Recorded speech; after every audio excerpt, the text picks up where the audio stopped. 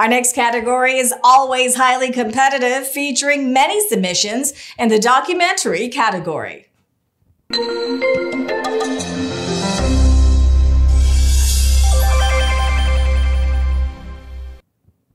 The winner of this year's documentary category is Vancouver's Adelina Suvagau, producer for Mary Magdalena in Conversation with Lilian Broca.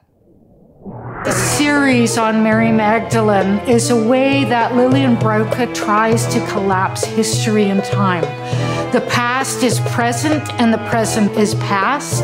And in that regard, it's a very postmodern type of work. Mary was robbed of her legacy. What I really wanted to do was get out the gematria with the numbers because that's what proves that she was the, the goddess in the gospel. The Magdalene adds up to 153.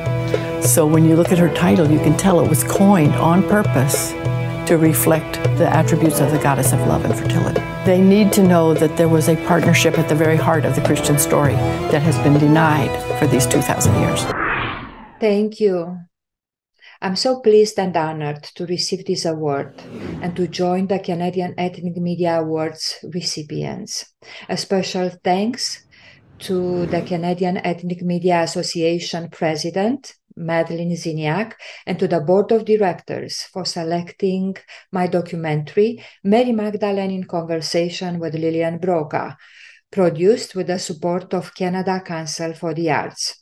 A special thanks and gratitude to the mosaic artist Lilian Broca, to my cast and crew, and to the extended family and friends who always supported me and who are watching this award ceremony online this evening. Thank you.